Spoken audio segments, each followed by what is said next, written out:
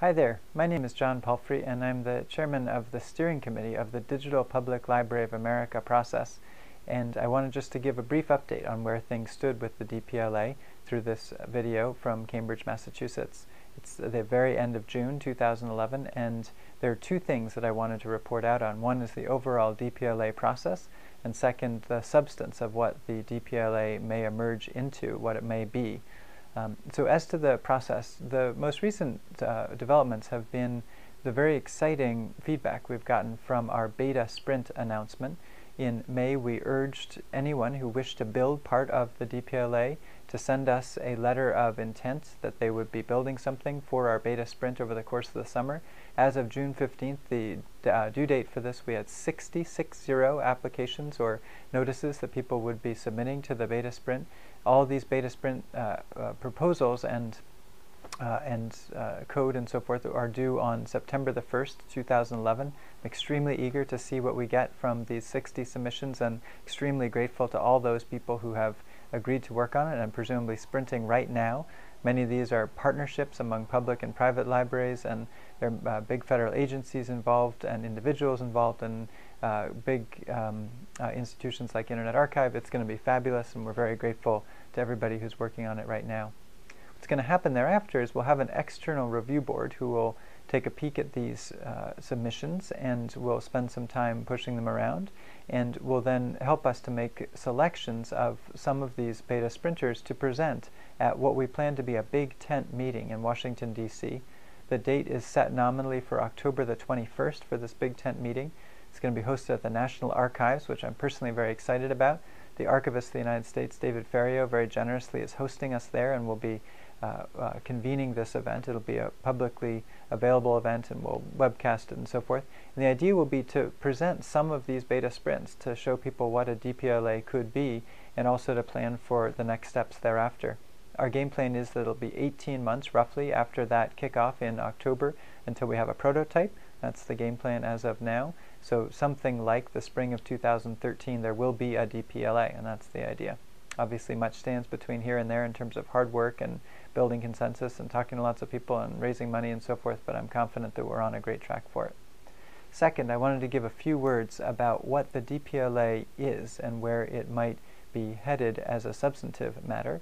This is something that we have very carefully been trying to uh, uh, do as a process as opposed to having a clear sense of what it might be. Um, and so I just want to give a snapshot. Basically, back in October of 2010, a group of about 30 people came together and agreed upon a sentence, a sentence about what a DPLA could be. And by March of last year, we had worked with a slightly broader group and came up with a four-page concept note, which is up on the DPLA wiki. If you're interested in that, just Google DPLA wiki and you'll come up with it.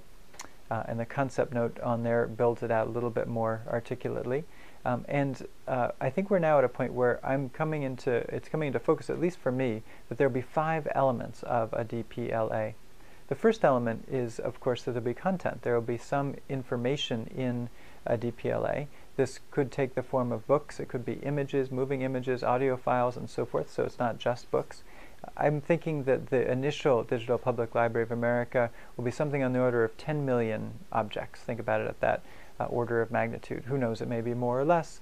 But the idea is a very big library. It's not meant to be the biggest ever library, but initially I think it will have a, a large-scale critical mass, and uh, 10 million objects is, is just a goal. You could imagine drawing upon lots of things in the public domain that have already been digitized by the Library of Congress, by many different partners within the DPLA, which are uh, public libraries, academic libraries, and so forth. But there would be a corpus of information. This would be made available on a free-to-all basis. I'm thinking about the words above the Boston Public Library as you walk in, that beautiful inscription that says free to all. So the notion would be however we obtain the rights to them, and we'll obviously do this entirely lawfully, from the end user perspective, the content will always be free um, as it would be at a public library. Second, this will be metadata. So the second element of the DPLA is there will be information about the information. There will be things like catalog records, circulation data, reviews, and so forth that describe and make findable and useful uh, the information in the, the content part. My sense is this will be as open as we possibly can make it. I believe in open access to metadata.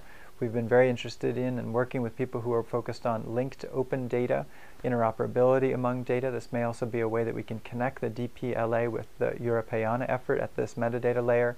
You can imagine a server that hosts all of this metadata and people can use it for various purposes.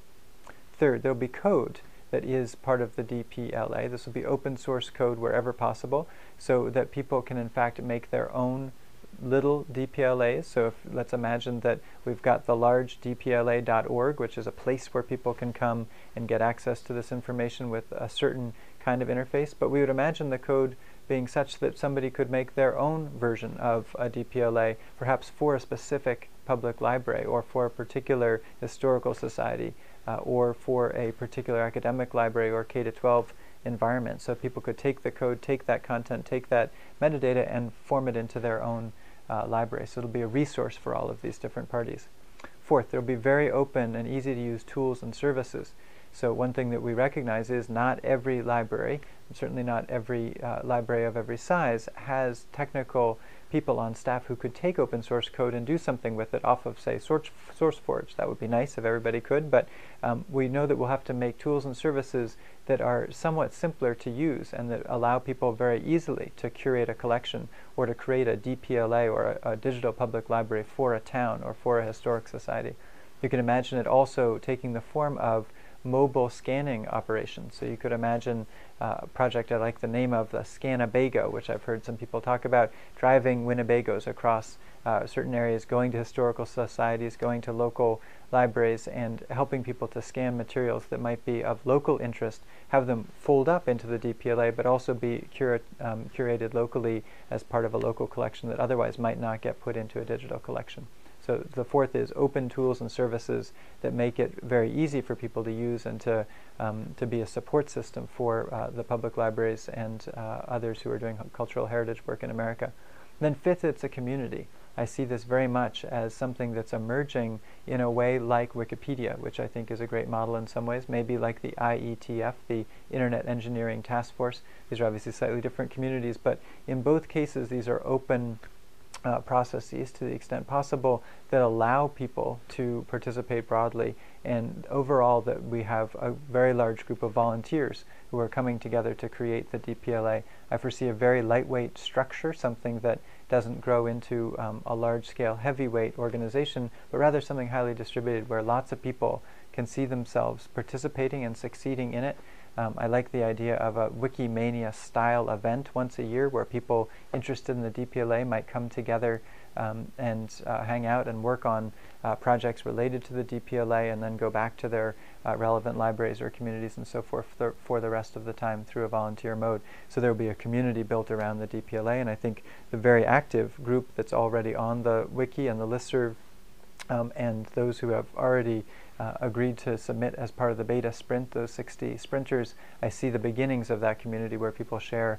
this ideal of creating a free to all, free for all um, American library of this sort. So that's the basic uh, update on the DPLA. I wanted just to share the current thoughts as of this last day of June 2011 and very grateful for your interest and attention um, with respect to this project. If you have anything that you would like to let us know, please um, contact us. The, the Secretariat of the DPLA is based at the Berkman Center for Internet and Society at Harvard University. We're, I think, easily found on the web, and please do send us a note or give us a call if you'd like to be involved one way or another. Thanks so much.